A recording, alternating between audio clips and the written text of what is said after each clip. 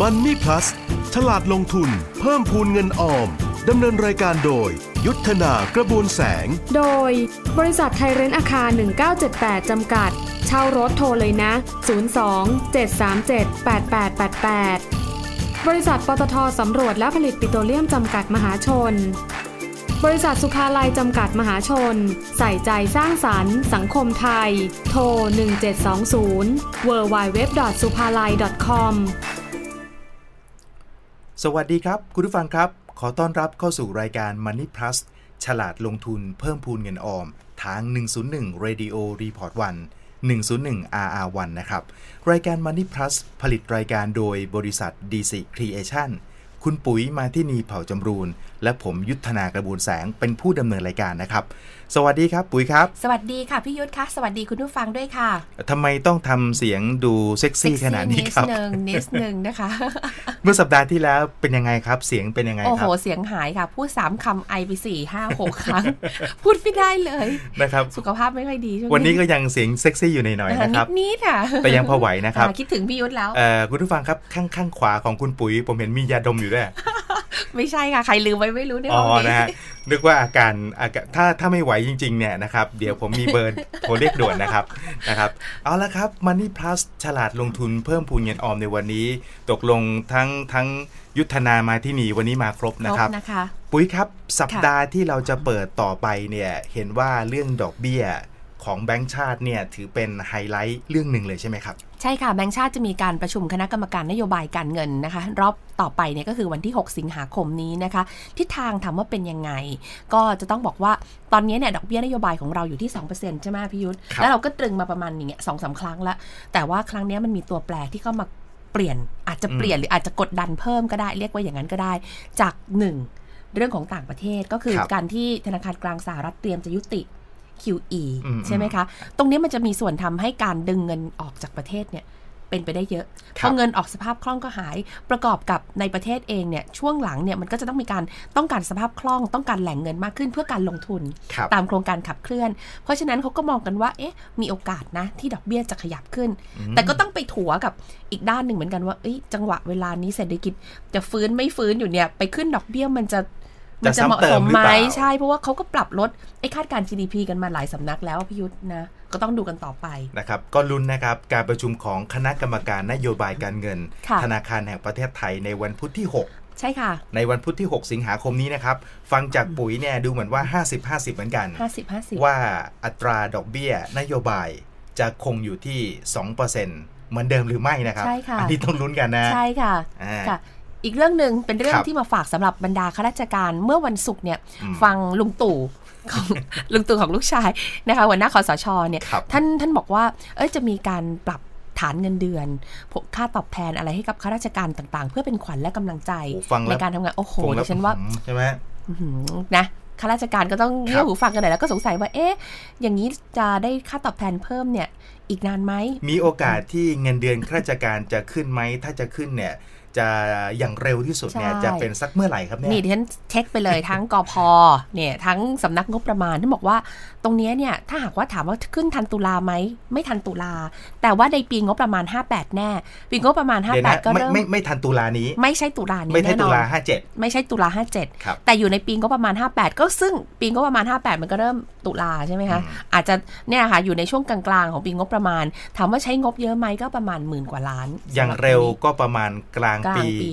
อย่างเร็วก็ประมาณกลางปีหน้าดิฉันว่าอาจจะเป็นต้นต้นๆปีนะ หรืออาจจะเป็นต้นปีก็ได้ใช่แต่ไม่น่าจะทันในปีนี้ใช่ไหมค่ะอ่านะครับนี่เป็นเรื่องที่ 2 เป็นข่าวดีที่กำลังรออยู่ค่ะสำหรับคุณผู้ฟังที่รักนะครับที่เป็นข้าราชการนะครับค่ะนะครับบางคนบอกกอนี่ก่อนเลยใจเย็นครับใจเย็นครับระวังใจไว้เย็นก่อนนะครับค่ะนะครับนี่สองเรื่องสำคัญนะฮะอีกเรื่องหนึ่งที่ที่บอกว่าตามอยู่ด้วยเรื่องอะไรครับปุ๋ย เรื่องข้าวหรือเรื่องรถไฟ มีทั้งข้าวทั้งรถไฟอะพี่ยุทธอ่าเอ่อก็คือข้าวเนี่ยเอ่อสัปดาห์หน้า สต็อกเขาตรวจกันเสร็จแล้วใช่ไหมคะครับเขาก็จะเริ่มทยอยระบายออกไปวันเนี้ย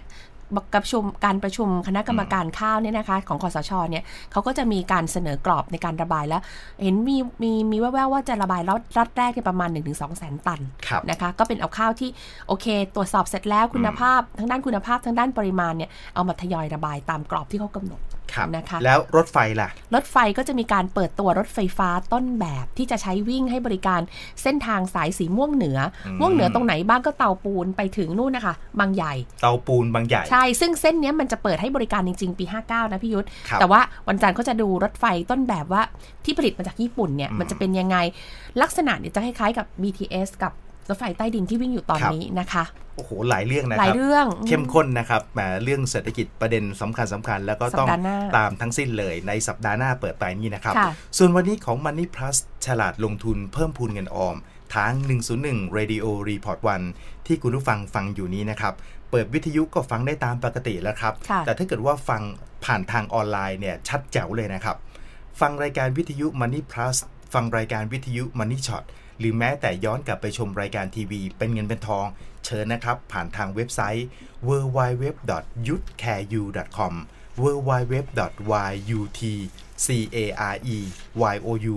www.yutcareu.com นะครับ ส่วนการติดต่อสายตรงกับทางทางรายการนะครับจะชมปุ๋ยหรือจะด่าผมเนี่ยนะฮะ เชิญนะครับ แต่เบาๆหน่อยนะครับนะครับผ่านทางแอปพลิเคชัน Line ครับ ง่ายๆเลยครับ แอปพลิเคชัน Line ง่าย ๆ เลยครับ ก็คือคำว่า Money Plus M O N E Y P L U S Money Plus ติดกันตรงตัว นี่เป็นวิธีหนึ่งในการจะติดต่อโดยตรงกับทางรายการ ผ่านทางแอปพลิเคชัน Line หรือฮอตไลน์สายด่วน 0819849735 0819849735 นะครับ ส่วนไฮไลท์ประจำวันนี้ครับ คุณผู้ฟังครับปุ๋ยครับค่ะเดี๋ยวติดตามดูครับ ใครต้องการที่อยู่อาศัยสำหรับผู้สูงวัย ถ้าถ้าเป็นประเภทคอนโดมิเนียมอย่างเงี้ยค่ะมีคอนโดมิเนียมในบ้านเราที่สร้างแล้วมีการปรับให้เหมาะกับการอยู่อาศัยของผู้สูงอายุไหมใช่จะเป็นผู้สูงอายุอยู่อาศัยกันทั้งแท่งเลยอืมหรือจะเป็นส่วนหนึ่งของแท่งคอนโดนั้นค่ะแล้วการที่ผู้สูงวัยจะอยู่ด้วยกันกับคนวัยเดียวกันเอง ดี หรือจะอยู่แบบคระวัยอะไรจะดีกว่ากันค่ะโอ้โห เดี๋ยวตามดูครับค่ะรวมทั้งเรื่องของทางเลือกในการลงทุนผ่านกองทุนรวม กองหุ้นที่เป็นบอกที่เขาบอกว่าเป็นทิกเกอร์ฟันอ่าฮะหุ้นมันย่อให้ซื้อไงใช่ลงมาหลุดพันห้าแต่ตอนปิดกลับไปยืนพอดีพอดีเมื่อวันศุกร์เนี่ยค่ะว่ากันว่าเป็นจังหวะย่อให้ซื้อ การลงทุนผ่านทางกองทุนรวมประเภท trigger fund ในช่วงนี้เหมาะไหมน่าสนใจอย่างไรนะครับ ใครที่ตังค์ในกระเป๋ามีเยอะแล้วมันร้อนอะตังค์ดิ้นใหญ่เลย อยากจะไปหาผลตอบแทนที่สูงกว่าเดี๋ยวติดตามแล้วกันนะครับค่ะนี่เป็นไฮไลท์สำคัญของ Money Plus ฉลาดลงทุนเพิ่มพูนเงินออมในวันนี้ แต่ว่าช่วงแรกของรายการครับ ขอเกาะติดหุ้นในกลุ่มพลังงานอ่าที่โตไปตามการฟื้นตัวและการเติบโตของภาวะเศรษฐกิจนะครับ แล้วก็ผลประกอบการไตรมาส2ของ หุ้นนะครับแทบจะเกือบทั้งหมดเนี่ยคลอดออกมาเกือบจะหมดเรียบร้อยแล้วนะครับค่ะเราไปดูหุ้นในกลุ่มพลังงานบริษัทหนึ่งครับ เป็นบริษัทที่มีพื้นฐานดี ถ้าไม่ดีเนี่ยสำนักงานประกันสังคมคงไม่เข้าไปถือหุ้นหรอกครับ ค่ะ เป็นหุ้นที่สำนักงานประกันสังคมเข้าไปถือหุ้นด้วย ผมกำลังหมายถึงบริษัทนี้ครับ บริษัทโกลพลังงานจำกัดมหาชน สดตรงไปที่ผู้อำนวยการฝ่ายการเงิน และนักลงทุนสัมพันธ์ บริษัทโกลพลังงานจำกัดมหาชน คุณนัทพัฒน์ตันบุญเอก ให้เกียรติมาคุยกับเราด้วยในช่วงนี้ครับ คุณนัทพัฒน์สวัสดีครับ สวัสดีค่ะ สวัสดีครับเอ่อผมยุทธนาอยู่กับคุณปุ๋ยมาที่นี่ค่ะด้วยนะครับ ครับ สวัสดีทั้งสองท่านครับค่ะ นะครับคุณนัทพัฒน์ไม่ขัดที่จะถูกเราลุมนะครับ อ๋อไม่มีปัญหาครับผม ค่ะคุณนัทพัฒน์บอกคุณรู้ไหมผมตัวขนาดไหน เดี๋ยวจะหนาวนะครับ คุณนัทพัฒน์ครับก่อนที่จะคุยกันหลายเรื่อง คุณนัทพัฒน์ช่วยย้ำให้เราฟังหน่อยว่า ธุรกิจหลักๆ ของโกลพลังงานนอกจากดำเนินธุรกิจด้านพลังงาน ผลิตและจำหน่ายกระแสไฟฟ้า ที่เรารู้กันโดยรวมแล้วเนี่ยรายละเอียดจริง ๆ ของ ประเภทธุรกิจหลัก ๆ ของโกลพลังงานเนี่ยมีกี่ประเภท แล้วก็มีอะไรบ้างครับครับ แล้วก็มีอะไรบ้างครับคุณนัทพัฒน์ครับผมเอ่อธุรกิจของโกลนะครับ เราจะแบ่งหลักๆเป็นสองส่วนนะครับค่ะเราจะเรียกว่าธุรกิจ IPP กับธุรกิจเอ่อ co-generation นะครับครับค่ะธุรกิจ IPP ฟังง่ายๆ เข้าใจง่ายๆเลยก็คือโรงไฟฟ้าขนาดใหญ่นะครับ ขายไฟฟ้าอย่างเดียว ขายให้การไฟฟ้าฝ่ายผลิตเจ้าค่ะเดียวนะครับ ซึ่งขณะนี้เราก็มีอยู่สามโรงไฟฟ้านะครับ ที่ครับเอาโทษครับสี่นะครับ ที่ที่ขายให้ให้ทางอีแกค่ะนะครับ เจ้าเดียวนะครับเอ่อในส่วนของธุรกิจ co-generation เนี่ยเอ่อถ้าอธิบายง่าย ๆ ก็คือ เป็นธุรกิจที่ขายทั้งไฟฟ้าและไอ้น้ำให้กับอืมลูกค้าหลายๆรายนะคครัรับบเอ่อครึ่งหนึ่งของธุรกิจ co-generation ทุกวันเนี้ยเราขายให้การไฟฟ้าฝ่ายผลิตนะครับ ภายใต้เอ่อโครงการ SPP ครับหรือผู้ผลิตไฟฟ้าขนาดเล็กค่ะ นะครับอีกครึ่งหนึ่งเนี่ยขายให้กับลูกค้าอุตสาหกรรมในเขตมาตาพุทธเอ่ออีสเทิร์นซีบอร์ดแถวๆนั้นนะครับประมาณ 30-40 รายอือฮึครับผมนั่นคือภาพภาพใหญ่ของธุรกิจของของโกลครับนะครับก็เป็น 2 ส่วนนะครับค่ะส่วนที่ผลิตไฟฟ้าแล้วก็ขายให้กับการไฟฟ้าฝ่ายผลิตเจ้าเดียวนะครับ อันนี้ประกอบด้วย 4 โรงไฟฟ้าถูกต้องไหมครับ ครับ แล้วก็อีกประเภทหนึ่งก็เป็นผู้ผลิตไฟฟ้าเอ่อ ขนาดย่อมขายทั้งไฟแล้วก็ไอ้น้ำด้วย ให้กับต้องกาครัรบไฟฟ้าฝ่ายผลิต แล้วก็ลูกค้าซึ่งเป็นบริษัทใหญ่ ๆ ในนิคมอุตสาหกรรมมาบตาพุธที่ระยองนะครับ ใช่ครับผมนะฮะอันนี้อันนี้คือธุรกิจหลักๆ ของทางโกพลังงานจำกัดมหาชน ผมเกรินไว้ไม่รู้หน้าแตกว่าคุณปุยว่าคุณนัทพัฒน์ช่วยผมหน่อยนะ ผมบอกว่าถ้าผมจำไม่ผิดเนี่ยโกพลังงานเนี่ย ประกันสังคมถือหุ้นอยู่ด้วยตกลงอ่าจริงไหมครับอ๋อ มีครับถูกต้องครับมีโอ้ครับรอดถูกรต้อองดรอดนะครับ ตอนนี้ประกันสังคมทำไมเขามาถือหุ้นเนี่ยเคยถามเขาไหมครับ อ๋อก็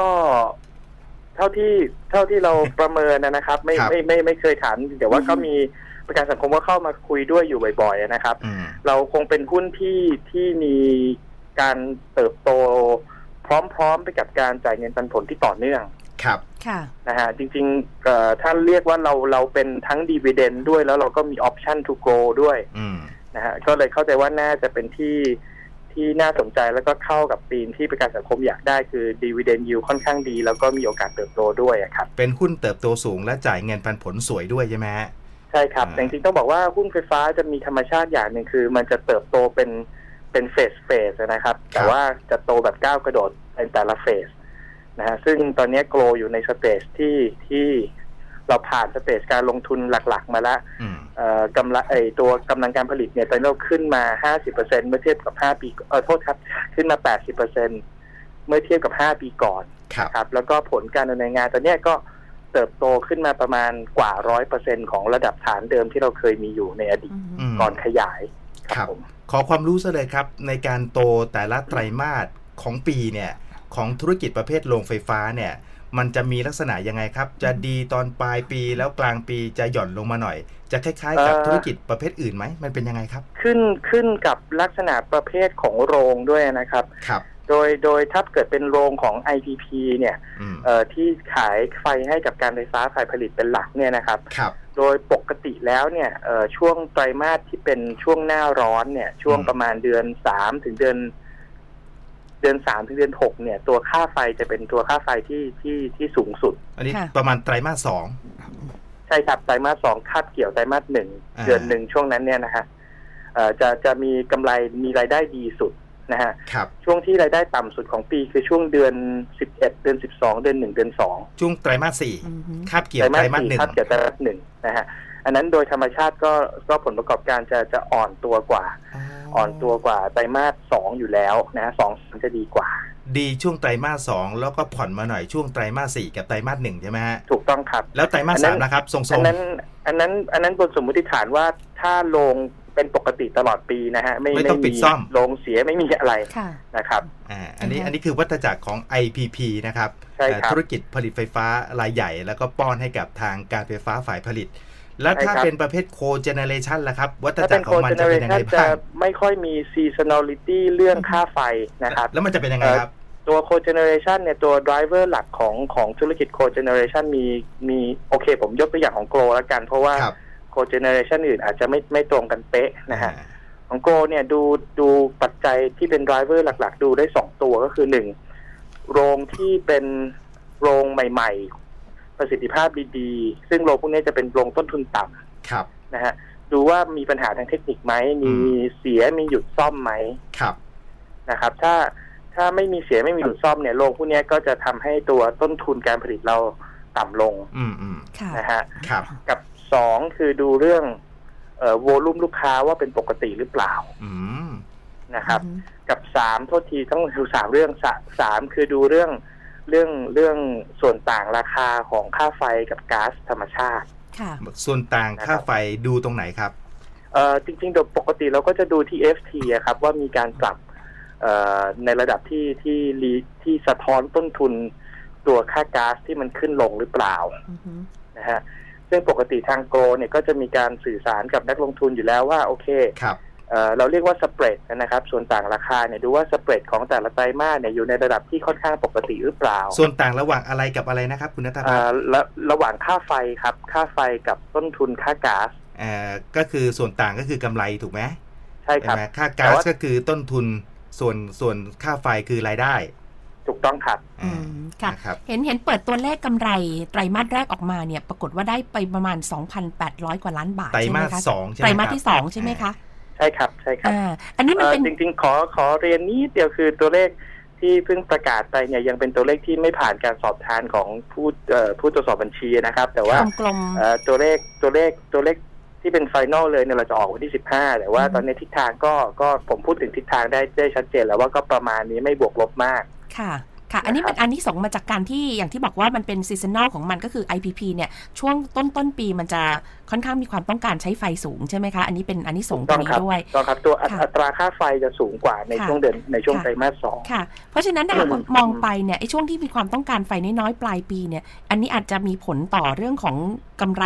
อาจจะไม่ไม่ขนาดนี้หรือเปล่า อันนี้ถ้าหากว่าประเมินออกไปอะค่ะ โอเค เดี๋ยวผมผมให้ภาพนี้ดีกว่าครับ ครับ คือในปีที่แล้วผมอ้างอิงในปีที่แล้วอืมปีที่แล้วเนี่ยสี่ไตรมาสเนี่ยโดยเฉลี่ยออกมาเนี่ย เรากำไรประประมาณไตรมาสละสองพันอืมอ๋อนะครับครับ เต็มปีก็คือประมาณแปดพันครับนะครับเทียบกับปีก่อนหน้าเนี่ยเต็มปีแค่ห้าพันนะครับอืมปีสองพันสิบเอ็ดเนี่ยเต็มปีแค่ห้าพันครับปีสองพันสิบสองไตรมาสละสองพันเต็มปีแปดพันครับนะครับ ปีนี้ไตรมาสหนึ่งเนี่ยเราก็โชว์กำไรประมาณสองพันเหมือนเดิมอืมอ่ายังอยู่ในค่าค่าค่ะเฉลี่ยมาตรฐาน ใช่ครับ ไตรมาสสองไตรมาสที่ผ่านเนี่ยที่ผ่านไปเนี่ยนะครับ ถือว่าจะเป็นไตรมาสที่สูงกว่าค่าเฉลี่ยปกติ เพราะว่าอัตราค่าไฟมันดีกว่า กำไรก่อนสอบทานของโกพลังงานไตรมาส2ทับ57 2,800 กับอีก 5 ล้านบาท และย้ำว่า นี่เป็นกำไรก่อนสอบทานใช่ไหมครับ คุณอัตพัฒน์ใช่ครับ ใช่ครับอ่า นะครับที่กำไรครับผมถึง 2,800 กว่าล้านเนี่ยสาเหตุหลักๆ นี่มาจากอะไรครับ โอเคครับเอ่อจริงๆไตรมาสนี้เนี่ยเอ่ออย่างอย่างที่ผมเรียนแล้วคือหนึ่งอ่าอัตราค่าไฟจะค่อนข้างดีกว่านะครับครับแต่ว่าตัวที่ทำให้ไตรมาสต่อไตรมาสเลย แล้วมันขึ้นมาเยอะเนี่ยเอ่ออีกตัวหนึ่งที่ที่เป็นไดรเวอร์สำคัญคือตัวค่าค่าความพร้อมของตัวโรงไฟฟ้าเกโกวันอืมนะครับ ซึ่งเป็นโรงไฟฟ้า IPP ถ่านหินครับนะครับ ตัวนี้เนี่ยเอ่อต้องเท้าความว่าปีที่แล้วเนี่ยเเกโกวันจะยังมีประสบปัญหาทางด้านเทคนิคเรื่องค่าความเรื่องความพร้อมจ่ายของโรงงานเนี่ยจะอยู่ในระดับแค่ประมาณ 80%เเก็กโกวันเนี่ยเป็นโรงงานไฟฟ้าพลังถ่านหินถูกต้องไหมครับ ถูกต้องครับอ่าต่อครับต่อครับ แล้วก็ปีที่แล้วเนี่ยยังมีปัญหาอยู่พอสมควรนะฮะค่าความพร้อมก็จะได้ประมาณ 80%ของของที่เราควรจะได้อืม นะครับ แต่พอมาปีเนี้ยเราปัญหาค่อนข้างจะแก้ไปเกือบหมดแล้วครับเอ่อไตรมาสหนึ่งเนี่ยเรากลับมาอยู่ระดับประมาณ 90%นอืมะฮะค่ะซึ่งเป็นระดับที่ค่อนข้างน่าพอใจครับนะครับไตรมาสสองเนี่ยเกือบเกือบเต็มร้อยเปอร์เซ็นเลยครับนะครับ ซึ่งก็เป็นนิมิตหมายที่ดีที่ที่มองไปยาวๆ ก็เราก็คิดว่าไอ้เทคนิคอลพ r o b l e m ต่างๆ ที่ประสบมาในเก g o วันในปีแรกเนี่ยครับน่าจะน่าจะได้รับการแก้ไขไปค่อนข้างดีละ คือถ้าไม่ต้องหยุดพลังงานเนี่ย ผลประกอบการมันก็ดีขึ้นอะใช่ไหมฮะถูกต้องครับใช่ครับครับเราก็ได้ได้รายได้เต็มไม่เต็มหน่วยนะครับเอ่ออันนั้นเป็นเป็นเป็นตัวใหญ่เลยที่ที่ที่ร้ายกำไรเราสูงขึ้นในปีนี้นะครับ เพราะว่าธุรกิจส่วนอื่น ๆ ของโกลเนี่ยค่อนข้างจะ stable จากจากปีที่แล้วหรือจากไตรมาสก่อนหน้านะฮะลง ครับ IPP ที่เป็นโรงแก๊สเนี่ยก็เอ่อความพร้อมจ่ายสูงในระดับปกติครับนะครับโรงที่เป็นโรงโรงไฟฟ้าพลังน้ำที่ลาวเนี่ยเอ่อปีต้นครึ่งปีแรกปีเนี้ยก็มีปริมาณผลิตเพิ่มขึ้นประมาณ 50%จากปีที่แล้ว ที่ลาวเนี่ยผมจำชื่อแม่นเลยนะคุณปุ๋ย ค่ะ ชื่ออะไรคะ โรงไฟฟ้าของโกพลังงานที่ลาวถ้าผมจำไม่ผิดนะ นี่พูดกันเผื่อหน้าแตนี่กนี่นี่กลัวฟังอยู่นะคะกลัวฟังอยู่ะชื่ออะไรนะกำลังลุ้นอยู่ไหมครับห้วยเหาะใช่ไหมใช่ไหมห้วยเหาะใช่ไหมถูกต้องครับโอ้เก่งมากเลยดูดูเพื่อนหน้าแตกใช่ไหม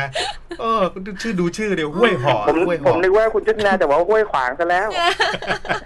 ห้วยเหาะนี่เป็นเป็นโรงไฟฟ้าพลังน้ำหรือเปล่าครับ คุณนัทพัฒน์ใช่ครับใช่ครับโรงไฟฟ้าพลังน้ำครับอ๋ออะอะเอาเป็นกันว่าจริง คำถามตัวที่ว่านี้ตัวนี้ปีครับที่แล้วเรามีปัญหาช่วงช่วงปลายปลายปีนะครับ เพราะว่าอืมปีที่แล้วเนี่ยเป็นปีที่ฝนตกเยอะ แล้วครับก็เยอะจนทำให้สายส่งเราถล่มโอ้ค่ะโหเยอะไปเสาเยอะเสาไปถล่มไปไปหนึ่งต้นนะครับ ก็ครับใช้เวลาซ่อมไปประมาณเกือบเกือบสี่เดือนนะฮะอืมทำให้ไตรมาสสี่เนี่ยแทบไม่ได้ขายไฟให้อีแกดเลยอ๋อนะฮะแล้วก็รายได้หายจนมาถึงเดือนเดือนมกราทั้งเดือนปีเนี้ยครับนะฮะกลับมาเริ่มขายได้เดือนกุมภาอืมค่ะนะครับ แต่ก็นั้นเองเนี่ยตั้งแต่กุมภามาถึงมิถุนาเนี่ยแค่ห้าเดือนเนี่ยครับปริมาณที่ที่เราขายไฟให้แกดเนี่ยมากกว่าปีที่แล้วที่เราขายหกเดือนไปถึงห้าสิบเปอร์เซ็นตอื้อหือนะฮะถ้าจำข่าวได้คือก่อนหน้านี้ช่วงช่วงหน้าร้อนเนี่ยมันมีการ ปิดซ่อมใช่ เอ่อเรื่องหลุมก๊าซธรรมชาติ ครับ ยาดานาอะไรแถวๆนั้นใช่ไหม ใช่ครับ อืมเพราะฉะนั้นอีแกดเขาก็เลยจะต้องการไฟเยอะเขาก็ค่ะ ขอเราให้ช่วยผลิตเยอะหน่อย อ๋อทางเราเองก็เราก็มีน้ำที่เก็บมาจากปีที่แล้วค่อนข้างเยอะก็เลย ครับก็เลยเราก็เลยเร่งผลิตให้นะฮะ อ๋อนะเพราะฉะนั้นที่ถามว่าทำไมโกพลังงาน จึงมีกำไรไตรมาส2ทับ57 ซึ่งเป็นกำไรก่อนสอบทานนะครับ ค่ะค่ะ ถึง 2,800 กับอีก 5 ล้านบาทเนี่ย คุณนัทพัฒน์บอกว่าเป็นเพราะก็ไตรมาส2ถ้าเป็น IPP เนี่ยมันมันดีที่สุดของปีอยู่แล้วค่ะประกอบกับเก c โกวันที่เป็นพลังงานไฟฟ้าโรงไฟฟ้าจากพลังงานถ่านหินเนี่ยกลับมาดำเนินการได้ตามได้ปกติค่ะมันก็เป็น 2 สาเหตุสำคัญที่ทำให้กำไรออกมาสวยขนาดนี้ใช่ไหมครับ คุณนัทพัฒถูน์กครัต้บองครับใช่ครับไตรมาสใช่คสบองปีนี้ถ้าเทียบกับไตรมาสสองปีที่แล้วเห็นว่ากำไรเพิ่มมากขึ้นประมาณถึง 150%อันนี้ก็ใช่ใช่ไหมฮะ เอ่อจริงๆเราจะดูไตรมาสสองปีที่แล้ว ผมต้องบอกนิดนึงคือปีที่แล้วเข้าใจว่าถ้าจำไม่ผิดจะมีเรื่องขาดทุนของกำไรของของเรื่องเรื่องอัตราแลกเปลี่ยนด้วยอ๋อนะฮะครับ แต่ว่าจริงๆถ้าที่ทางบริษัทดูเองเนี่ยเราจะไม่ดูผลของกำไรขาดทุนครับ จากอัตราแลกเปลี่ยน เพราะว่าอืม ไอ้ผลกำไรขาดทุนตัวเนี้ยไม่ใช่กำไรจงๆแล้วมัปกติคือมันคือผลกำไรขาดทุนที่เกิดจากการแปลงค่าเงินเฉย อืมไม่ใช่จากการนะครับ ดำเนินงาน ค่ะ ๆ ใช่ นะครับเวลาเราเวลาเวลาเราจ่ายเงินปันผลเนี่ยเราก็ครัจะบดูกำไรที่ไม่รวมอืมไอ้ตัวการแปลงค่าเงิน ครับครับคุณนัทครัพัฒบน์ผมแหมกำลังค่ะคุยกันออกรถสนุกเลยออกชาติเลยเวลาจะหมดอีกแล้ว เหลือเหลือครับประมาณผมนาที 2 นาทีสุดท้ายนะครับครับเอ่อเอาไว้ให้กับท่านนักลงทุนเอาไว้ทำกันบ้านต่อนะครับ คุณครับนัทพัฒน์ช่วยสรุปหน่อยได้ไหมครับว่าอะไรคือตัวแปรสำคัญเอาไม่เกิน 3 ตัวกันแล้วกัน ที่จะส่งผลต่อตัวของโกพลังงาน ว่าจะกำไรหรือจะขาดทุนหรือจะกำไรมากกำไรน้อยเนี่ย ขึ้นอยู่กับสักกี่ตัวแปรมีอะไรบ้างครับ ผมเหลือ 2 นาทีสุดท้ายจริง ๆ ครับเอ่อถ้านักลงทุนจะตามดูนะครับครับเอ่อให้ตามดูว่าหนึ่งโรงไฟฟ้าหลักๆของโกลเนี่ยจะมีมีการหยุดซ่อมหรือมีอุบัติเหตุมีอะไรหรือเปล่า โรงไฟฟ้าหลักๆของโกใช่อย่างหเช่ลันกๆก็คือเจโกวันที่ผมพูดถึงเมื่อกี้นี้ครับนะครับ แล้วก็โรงในส่วนโคเจน เราก็จะเรียกว่าโรงโรงไฟฟ้าเฟสห้าอืมนะครับ แล้วก็โรงไฟฟ้าถ่านหินต่างๆ เนี่ย ถ้า ถ้าโรงต่างๆ เหล่านี้ไม่มีปัญหาเนี่ยก็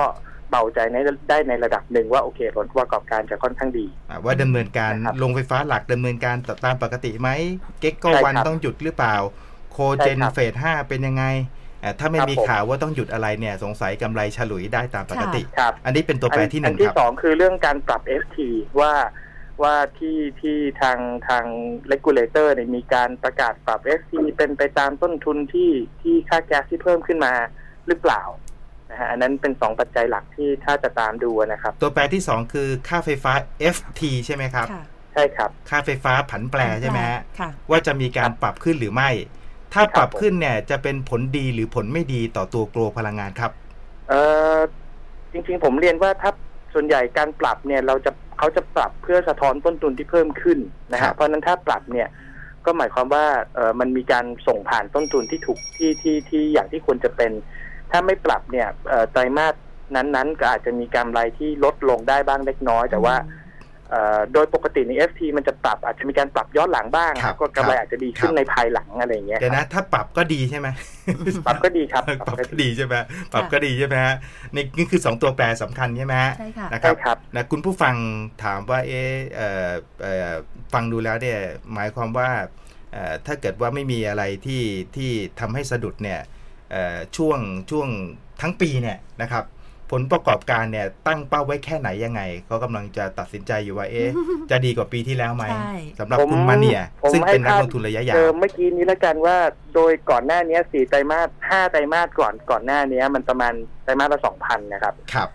แล้วก็ไตรมาสหนึ่งปีนี้สองพันเหมือนเดิมไตรมาสสองสามพันครับเอ่อถ้าเกิดสองไตรมาสข้างหลังเนี่ยผมว่าก็ไม่น่าจะหนีอัตราค่าเฉลี่ยเดิมมากเท่าไหร่นักอืม ประมาณสองพันครับนะคะ แล้วถ้าเป็นไปมานั้นก็จะมีกำไรมากกว่าปีที่แล้วอย่างนั้นใช่ไหมครับ ถูกต้องครับนะครับเอาละครับเอาละครับค่ะโอ้เวลาหมดจริง ๆ โอกาสหน้าคงได้คุยใหม่นะ ไม่เกินไตรมาสละครั้งครับ คุณคุณนัทพัฒน์ได้ครับได้เลยครับ